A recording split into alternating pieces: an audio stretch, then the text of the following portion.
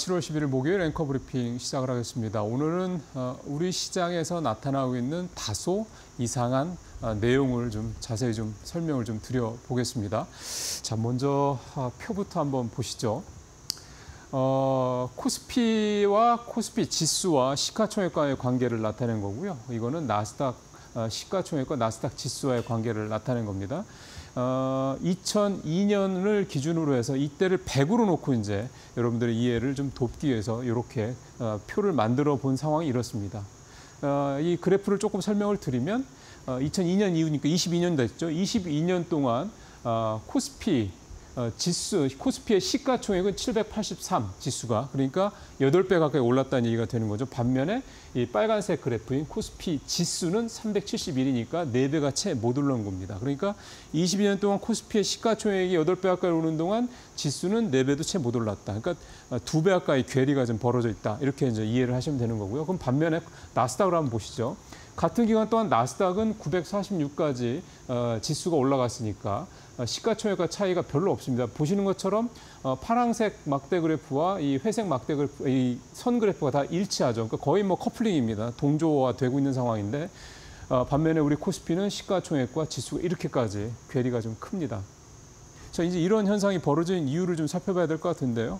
왜 이제 이, 이, 얘기를 이제 하게 된 이유는 뭐냐면 어, 지난 9일 기준으로 우리 코스피의 시가총액이 2,340조 원을 넘어서서 어, 시가총액 기준으로 3년 만에 2021년, 그러니까 당시 3천 지수가 3천 갈 때 얘기입니다. 그때 이후로 3년 만에 시가총액은 역대 최고치를 바꿨습니다. 기록을 새로 세웠습니다. 근데 어, 현재 코스피 지수를 보시죠. 오늘 아까 2,890선 살짝 넘었죠. 그러니까 코스피 지수는 3년 전과 비교해서 그렇게까지 많이 올라가지 못한 겁니다. 그러니까 코스피 시가총액은 3년 만에 최고치를 경신했지만 코스피 지수는 그 당시에 최고치였던 3,300선에 한참 못 미칩니다. 대략 한 15% 정도 괴리가 좀 발생하는 건데요.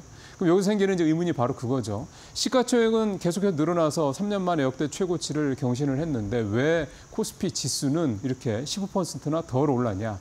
그 이유가 뭐냐에 대한 부분을 이제 말씀을 드리려고 이렇게 나스닥과 비교한 그래프를 좀 준비를 했던 겁니다. 자, 다음 표를 한번 보시죠. 왜 코스피 지수와 시가총액 간에 이런 괴리가 발생할 거냐? 가장 큰 이유는 코스피 지수를 산출하는 방식 때문입니다. 지금 우리 코스피 지수를 산출하는 방식은 어, 신규 상장이라든가 또는 증자, 감자, 상장 폐지 이 결국 이제 물량의 유통 물량의 변화를 주는 건데 이런 것 주식수 변동 내역을 반영하지 않고 그냥 어, 주가와 이제 그 어, 유통 주식수를 이제 곱해서 산출을 하고 있습니다. 근데 잘 아시는 것처럼 이 주가 이런 어떤 물량이 계속해서 이제 시장에 늘어나게 되면 당연히 주가 가치가 지수가 희석이 될 수밖에 없는 그런 상황이거든요. 최근에 좀 살펴보면은 2000년 이후에 우리나라 시장 전체 주식수가 연평균 4%씩 증가를 하고 있습니다. 그러니까 계속 물량은 늘어나고 있는데 그 물량이 늘어나는 부분들이 어, 시가총액에는 반영이 돼서 시가총액이 계속해서 늘어나고 있는 반면에 지수에는 반영이 안 되다 보니까 지수와 시가총액 간 이런 괴리가 발생을 하고 있는 그런 상황인데요. 그럼 앞서 말씀드린 대로 어, 나스닥은 왜 시가총액과 지수가 이렇게 동조화, 이제 커플링으로 가고 있느냐? 그거는 어, 나스닥 그거는 이제 이 나스닥 같은 경우 올 라갈 때 유통 물량에 대한 부분들이 같이 늘어나지 않는 구조이기 때문에 무슨 소리냐면 나스닥에 해당되는 종목들 같은 경우는 이제 다음 다음 표를 좀 넘어가 주시죠. 신규 상장도 계속 벌어지고 주가도 계속 오르면 불구하고 그래서 시가총액도 올라가고 지수도 올라가는데 나스닥 같은 경우는 나스닥에 들어가는 종목들이 상장된 종목들이 아, 유통 주식수를 계속 줄이는 작업들을 하고 있습니다. 어떤 식으로 하냐면 자사주를 매입을 해서 소각하는 이런 방식으로 계속해서 하고 있는 거거든요. 그러니까 주주원환 정책을 적극적으로 펼치기 때문에 나스닥 같은 경우는 시총과 지수와 같이 가는 유통 물량이 계속 늘어나는 부분들을 관리를 하고 있다 이렇게 말씀을 드리는 거죠.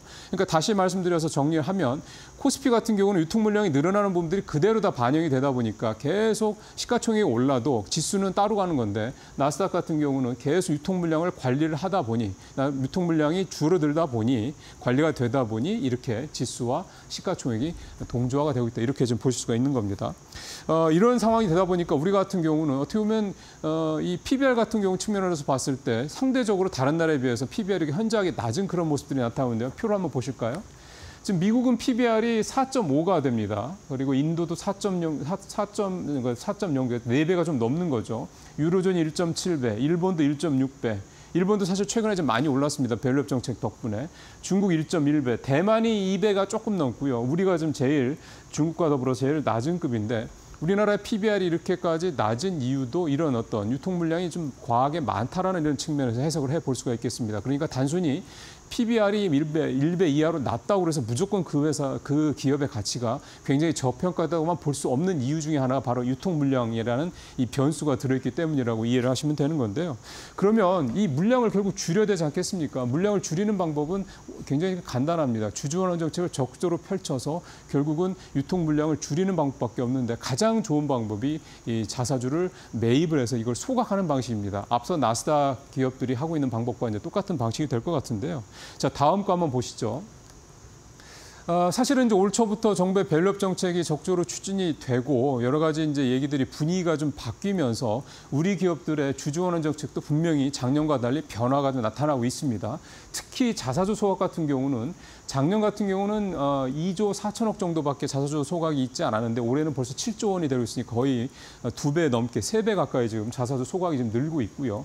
현금 배당도 어, 작년에 32.9조 했던 게 올해는 34조 2천억, 34조 2천억까지 늘어났으니까 좀 늘고 있습니다. 근데 사실 이제 이렇게만 놓고 보면 우리가 주주환원 정책이 많이 좋아지고 있구나 이렇게 생각이 들 수가 있는데 다른 나라와 비교를 해봐야지 우리나라가 이렇게 하고 있는 게 수준이 어느 정도인지를 좀 평가할 수 있는 거죠. 뭐 미국까지 가는 거는 너무 차이가 많이 나고요. 좀 가까운 일본의 상황을 좀 살펴보면 어, 일본은 지금 어, 니케이 225 지수를 기준으로 해서 연일 역대 최고치를 경신을 하고 있거든요. 이렇게 일본 니케이 지수가 강한 상승 흐름을 이어가고 있는 그 배경에 역시 일본 정부가 2020년대 이어서 적극적으로 추진하고 있는 이 value up 정책의 효과가 나타나고 있다 이렇게 보는 건데 어, 참고로 어, 지난해 일본 상장사들의 주주 환원 총액 즉 어, 자사주 매입과 소각 아, 소각 그다음에 이 현금 배당을 통한 이 주주 환원 총액이 우리 돈으로 233조 원에 달했습니다. 그러니까 작년 기준입니다. 올해는 더 늘어날 수 있겠죠. 그럼 보면은 우리 같은 경우는 자사주 아, 매입 그다음에 이 현금 배당 합쳐서 한 현재 요것만 보더라도 40조 정도 수준이니까 자사주 매입까지 합하면 더 되긴 하겠습니다만 일본의 작년 한 해 연간 주주하는 총액과 비교하면 아주 현저하게 낮습니다. 그러니까 결국은 우리가 앞으로 가야 될 길이 밸류업을 위해서는 어떤 방법인가라는 것들을 이 표를 보더라도 충분히 좀 이해할 수가 있는 건데요. 일본이 한 3, 4년 걸린 거죠. 결국 우리도 올해 당장 아마 충분한 어떤 그런 주주환원 정책에 대한 효과를 시장에서 보지는 못할 수 있겠습니다만 올해 일단 물꼬를 트고 이런 방 어떤 정책들을 계속해서 펼쳐나가고 기업들이 적극적인 주주환원 정책에 동조를 한다면 결국 언젠가 2, 3년 뒤에는 우리 시장도 일본 증시처럼 이렇게 충분한 밸류업의 효과를 볼 수 있지 않겠냐 그런 기대를 해봅니다. 앵커 브리핑 마치겠습니다.